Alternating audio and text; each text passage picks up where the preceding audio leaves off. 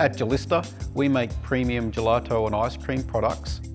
Our business was growing. We were putting our ripples into the gelato by hand. We had problems with getting the right consistency and the right quantity in each container. So that's when we had to seek out a better solution.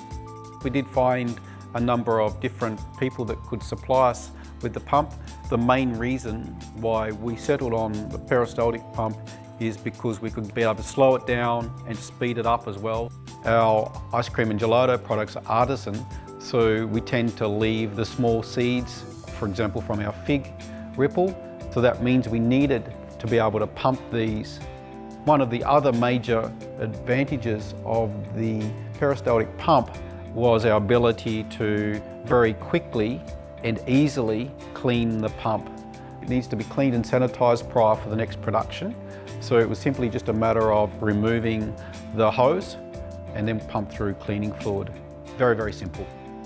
When we first bought it, we had the small head on the Verderflex pump.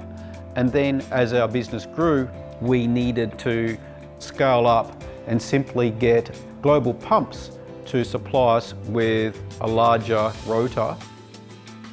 Because they are specialists in their field, they have access to a huge variety of pumps and solutions that we could have come up with, but this one was chosen as the best suited to our needs.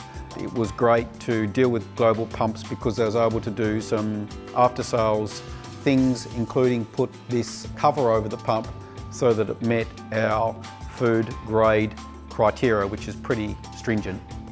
Global Pumps was able to provide us with a suitable pump, offered the most cost-effective solution, supplied so that we could put it into use very quickly.